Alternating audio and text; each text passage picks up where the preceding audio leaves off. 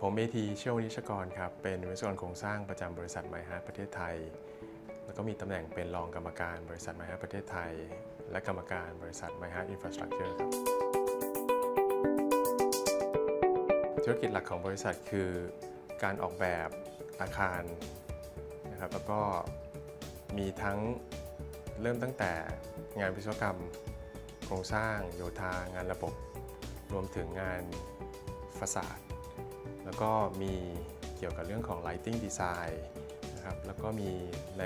บริการส่วนของ project management กับ construction management ครับเทรนด์ในธุรกิจก่อสร้างของเมืองไทยผมมองว่ามันจะไปในเทรนด์ที่เป็นลักษณะของการก่อสร้างที่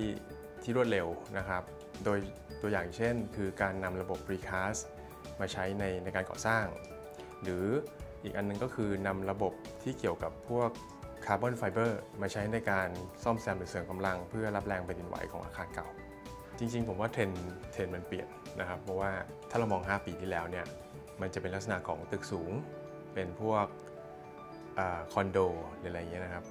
หรือแม้กระทั่งเป็นออฟฟิศแต่ปัจจุบันเนี้ยหลังจากที่เกิดเหตุการณ์โควิดที่ผ่านมา เทรนด์ของออฟฟิศก็น้อยลง เพราะว่าปกติแล้วเนี่ยคนก็จะ work from home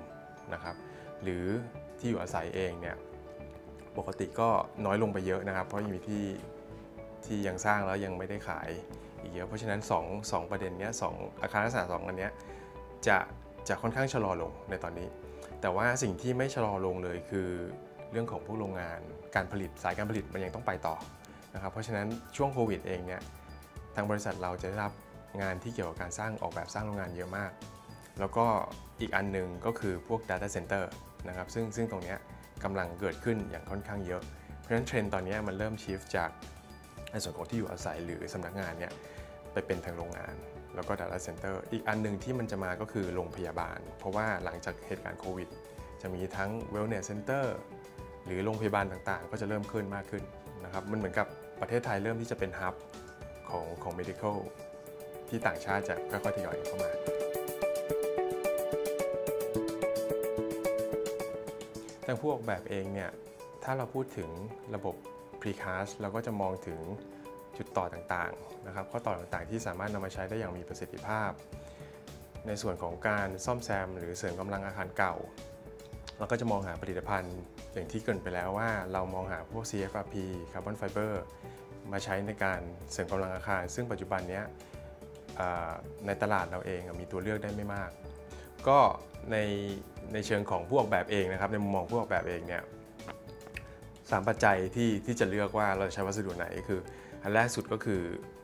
availability คือความที่จะเข้าถึงวัสดุได้ง่ายนะครับ อันแรกสุดที่สำคัญมาก อันที่ 2 ก็จะเป็นเรื่องของมาตรฐาน ซึ่งอาจจะต้องมีการรับรองจากสถาบันต่างๆ ไม่ว่าจะเป็น ICC หรือเป็นมหาวิทยาลัย หรืออะไรต่างๆ ที่ที่สามารถรับรองได้ ส่วนอันที่ 3 ก็คือเรื่องของ technical support การที่ทางบริษัทเราเนี่ยจะนำวัสดุตัวนี้มาใช้เนี่ยเนื่องจากวิศวกรทุกคนไม่ได้มีความรู้เกี่ยวกับวัสดุนี้ทุกคนนะครับ ตัวช่วยในการที่จะ support เรื่องเทคนิคเนี่ยเช่นอาจจะมีซอฟต์แวร์ในการออกแบบ หรือให้คำปรึกษาและ training หน้างานนะครับว่าต้องติดตั้งยังไง แล้วก็บริการหลังการขาย เช่นถ้าเกิดมีความเสียหาย อะไรเงี้ยเราสามารถที่จะติดต่อกลับไปเพื่อเพื่อแก้ไขยังไงได้บ้าง อันนี้เป็นสามสามปัจจัยสำคัญ วิธีการที่เรา present กับลูกค้านะครับในเทรนด์ที่เปลี่ยนจากเมื่ออดีต 5 ปีที่ผ่านมาเนี่ยเราก็จะพูดถึงเรื่องของ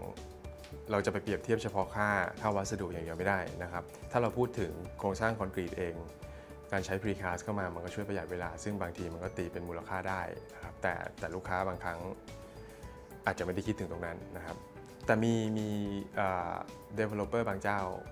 คือทราบความต้องการของตัวเองว่าต้องการอะไรนะครับ ก็จะมาปรึกษากับเราพอเราอธิบายไปเนี่ยบางครั้งเนี่ยถ้าคอสราคาค่าก่อสร้างมันได้ เขาก็สนใจที่จะเอาไปทำนะครับคือหลักๆ แล้วถ้ามองถึง developer ต่างๆ เขาจะมองเรื่องของราคาเป็นหลักอยู่แล้ว เราก็ต้องหาอะไรที่มันมีประสิทธิภาพ แล้วก็ราคาไม่สูงเกินไป อนนี้ตอนนี้เทรนด์มามากขึ้นนะครับ โดยเฉพาะผู้โรงงานต่างๆ ที่อยู่ในนิคมอุตสาหกรรม บางทีเขาก็ต้องการ certification นนะครับ ในส่วนของงานโครงสร้างเองที่จะไป support ตรงนี้จริง ๆ มีไม่ได้เยอะมาก มีไม่กี่หัวข้อ จะเป็นงานพวกงานระบบมากกว่าพวกพลังงาน ถ้าเป็นในเชิงโครงสร้างก็จะมีการนำเอาวัสดุที่สามารถนำกลับมาใช้ได้เป็น recycle material หรือการลดปริมาณของซีเมนต์ที่อยู่ในคอนกรีตก็จะใส่พวก fly ash อะไรเข้าไปเพื่อเพื่อลดตรงนั้น ของของโครงสร้างเองเนี่ยจะสามารถเหมือนกับ contribute ในเรื่องนี้ได้จำนวนหนึ่ง แต่ไม่เยอะเท่ากับสาขาอื่นๆนะครับ ในมุมมองของ My Heart เองนะครับวิธีการออกแบบทุกอย่างเนี่ยเราก็ยังมองและคำนึงถึง ไม่ว่าจะเป็นเทคโนโลยี ซึ่งสำคัญมากในการก่อสร้างนะครับแล้วก็สิ่งแวดล้อมต่างๆ ซึ่งก็สำคัญใน ในระยะยาวนะครับ ซึ่ง2งปัจจัยนี้เราเราพิจารณาอยู่ตลอดไม่ว่าจะเป็นโครงการไหนก็ตาม ไม่ว่าโครงการนั้นๆ จะต้องการ certification หรือไม่ มันยังเป็นส่วนหนึ่งที่เราต้องต้องทำอยู่